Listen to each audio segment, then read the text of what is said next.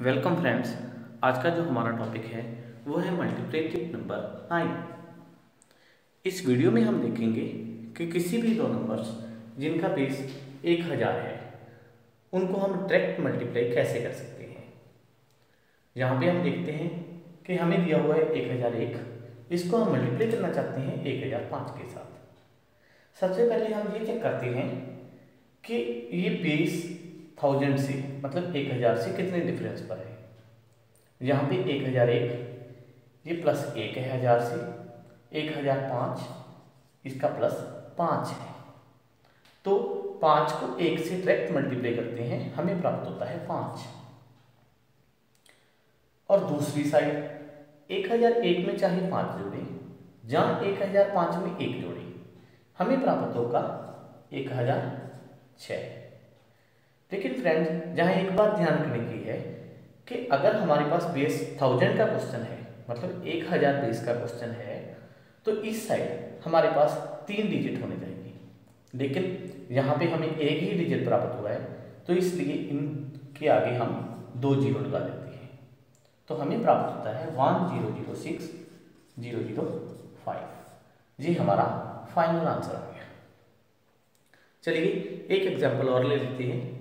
मान लो हमें दिया हुआ है एक हज़ार सात। इसको मल्टीप्लाई करना चाहते हैं एक हज़ार नौ के साथ। यहाँ, ये एक हज़ार से सात प्लस है। ये नंबर एक हज़ार से नौ प्लस है। नौ को सात से मल्टीप्लाई करते हैं।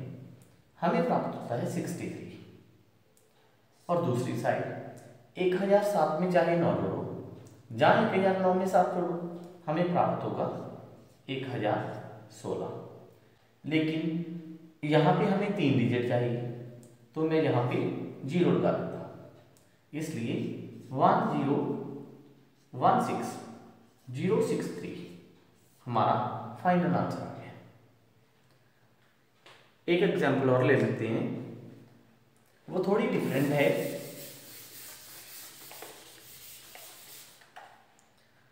मान लो हमें दिया हुआ है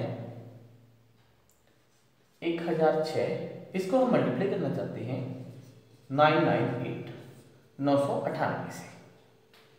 तो हम यहाँ पे देखते हैं कि एक हज़ार छ है जो, वो प्लस सिक्स है।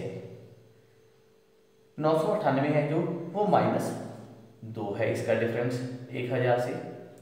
इनको मल्टीप्लाई करते हैं, हमें प्राप्त होता है माइनस ट्वेल्व और दूसरी साइड एक हज़ार छ में चाहे माइनस दो जोड़ो जब नौ सौ अठानवे में छः जोड़ो हमें प्राप्त होगा एक हज़ार चार। लेकिन यहाँ हमें माइनस का नंबर प्राप्त हुआ है। तो इसके लिए हम क्या करेंगे? यहाँ से एक माइनस कर देंगे, एक हज़ार तीन।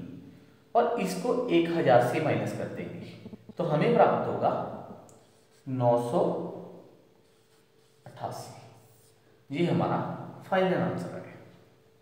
फ्रेंड्स देखने में लगता होगा कि ये कॉम्प्लिकेटेड है। लेकिन अगर प्रैक्टिस करते हैं तो ये बड़ा इजी बन जाता है। जैसे और एग्जांपल ले लेते हैं।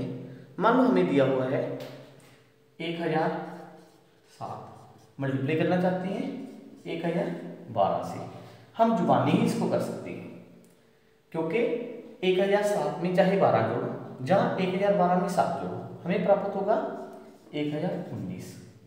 और दूसरी साइड सात को बारह से मल्टीप्लाई करते हैं, चौरासी। हमें चाहिए तीन डिजिट तो ज़ीरो एट फोर ये हमारा फाइनल आंसर आ गया।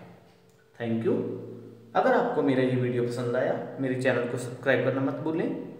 और नेक्स्ट वीडियो में हम देखेंगे कि किसी भी नंबर को पाँच, पंद्रह, पच्चीस और एक सौ पच्चीस, इन नंबर्स के साथ कैसे बड़ी, जल्दी ही हम मल्टीप्लाई कर सकते हैं।